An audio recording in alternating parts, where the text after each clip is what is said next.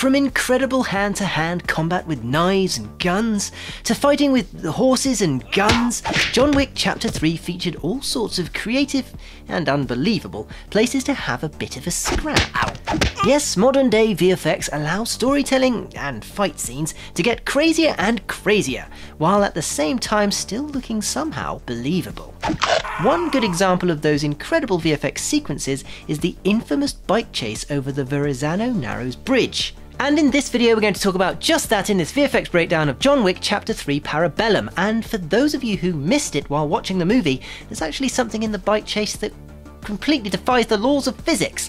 But you'll have to watch through to the end of the video to find out what it is. No skipping, because that's cheating.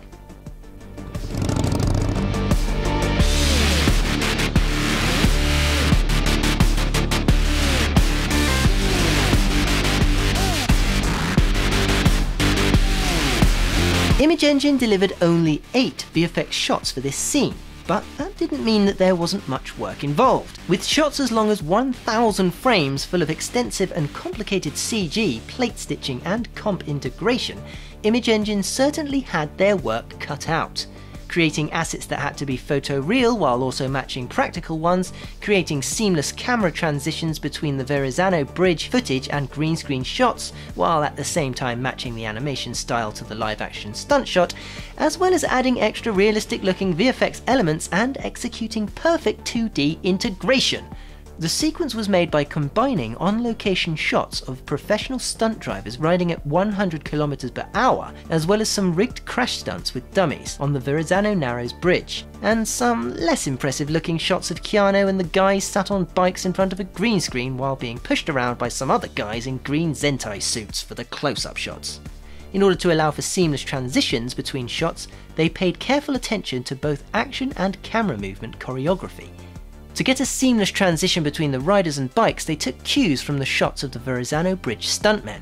Of course, Keanu's face also needed to be added in some shots. But unfortunately, only one take of Keanu riding on the real Verrazano Bridge was filmed, so that take was inevitably the one that was used for the base of the 2.5D face replacements as it had the correct lighting on it. They also created a 3.5D face replacement for Keanu, using Cyberscan and some texture photography, while creating his hair in Houdini.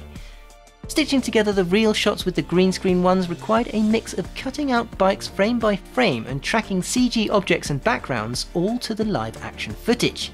Let's take a closer look at this footage to see how the transitions come together. So, starting with the shot of Keanu fighting in the green room, they add in a motion tracked CG background. Then these two bikers ride off and the camera pans back following this empty bike that's CG. This is a smart place to transition back to the real footage following the CG bike that crashes into another CG one. Then Keanu sweeps across the screen. This is another clever place to make a transition back to the green room.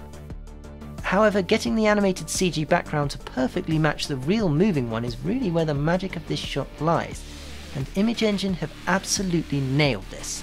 Although something that wasn't quite nailed was some of the physics in one of the stunts, and it's probably down to the writers or directors wanting it to look this way, but it just doesn't work. Before the front wheel of this bike seems to disappear for a frame, when one of the bikers gets his freshly lopped off arm stuck in the back wheel, the bike does something magical. Did you spot it?